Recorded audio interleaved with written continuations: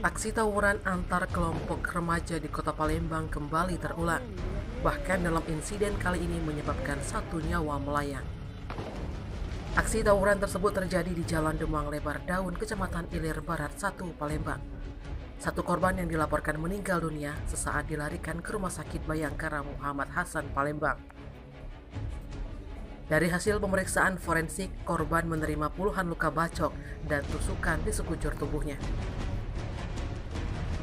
Insiden tawuran antar kelompok remaja itu dibenarkan oleh Kapolsek Ilir Barat 1 Kompol Rian Suhendi ketika dikonfirmasi via telepon.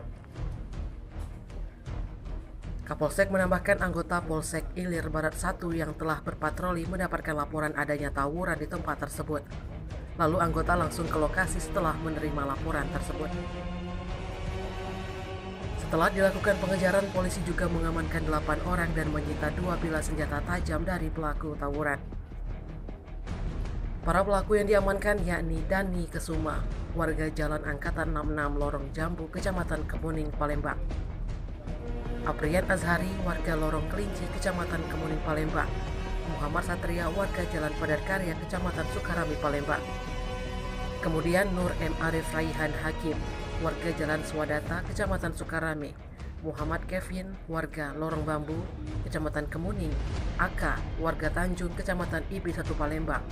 AP warga Jalan Basuki Rahmat, Kecamatan Kemuning, Palembang, dan Reza, warga Jalan Ogan, Lorong Pelita, Kecamatan IB 1 Palembang. Di lain pihak menuturkan salah satu saksi yang juga merupakan pemuda yang ikut dalam aksi tawuran tersebut, Reza, mengatakan dirinya juga ikut menerjang korban dua kali. Diketahui mereka sempat cekcok terlebih dahulu hingga terjadilah aksi saling pukul. Tim Liputan Sumsel Update TV melaporkan.